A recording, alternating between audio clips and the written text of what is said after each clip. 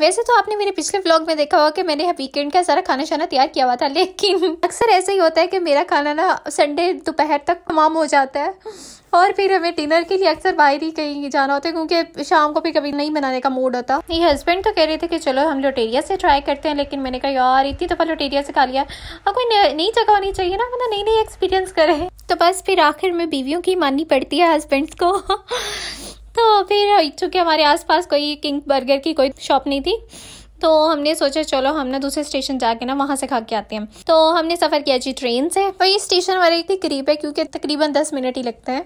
और ये रास्ते में आपको आप ऐसी रोड लाइट्स भी नज़र आएँगी जो कि सिग्नल की इंडिकेशन होती है। इन केस कि अगर आप अपने मोबाइल में मसरूफ़ हैं तो आपको लाइट से अंदाज़ा हो जाएगा कि भाई सिग्नल खुल गया है या सिग्नल बंद है। और फिर जल्द ही अपनी मंजिल मकसूद पर भी हम पहुँच चुके थे। फिर जाते साथ तो हमने सबसे पहले ऑर्डर प्लेस किया। और ये बर्गर की का मेरा पहला एक्सपीरियंस है तो मैं इनका श्रिम बर्गर तो ज़रूर ट्राई करना चाहती थी। मैं एक दो एक्स्ट्रा चीज़ें हमने ऑर्डर कर ली। और और फिर जब ऑर्डर का इंतज़ार कर रहे हो तो फिर ऐसी वीडियोस बना लेते हैं हम। और जब ऑर्डर ना आया हो तो फिर इसी पर्ची से हवाशवा ले लें। और टू बी ऑनेस्ट मुझे इनकी प्राइस अच्छी नहीं लगी थी। बाकी इनकी चीज़ें, बाकी सारी मज़े की थी। बाकी प्राइस इनकी नॉर्मल ही थी, इतनी कोई स्पेशल नहीं थी। बाकी प्राइस मुझे मोम स्टैच की सबसे ज़्यादा मज़े की लगी थी, क्योंकि उनकी बहुत क्रिस्पी थी। और बाकी ये चीज़ बॉल्स भी अच्छी थी, और बाकी वो सैलड तो मैंने गलती से ऑर्डर कर दिया था। तो बस वो भी गुजारे लाइक था।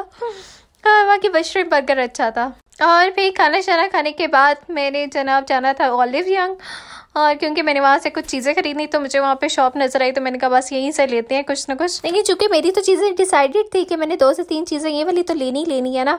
लेकिन मुझे होता है कि यार बाकी चीज़ें भी तो बंदा ट्राई करे ना। और फिर जब मैं ट्राई करने लग जाऊँ तो बस फिर फिर मेरा एक चीज़ पे इतफा नहीं होता। फिर मुझे होता है ये सारी चीज़ें मैं ट्राई करके देखूँ हो सकता है दूसरी चीज़ ज़्यादा अच्छी हो। और ये मैं आई शेडोज वगैरह भी लेके ट्राई कर रही नहीं। और इसके अलावा मैंने लेने थे जी मास्क वैसे मुझे तैयार होने का और मेकअप का तो बहुत ही ज़्यादा शौक है। पाकिस्तान में तो हर दूसरे दिन ही किसी न किसी की शादी हो रही होती है तो हमें बुलाया होता था। लेकिन यहाँ के तो लगता है कि आप पता नहीं आप कब जाएँगे और कब किसी शादी में शिरकत करेंगे। कब जाके कोई इतनी स्पेशल शादी आई? हम स्पेशली उसे अटेंड करने के लिए कोरिया से पाकिस्तान जाए।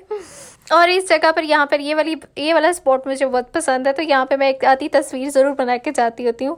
फिर साजो सामान लेने के बाद फिर हमने किया वापसी का सफ़र बस के ज़रिए से। और बस आज के लिए इतना ही। Thank you so much for watching okay bye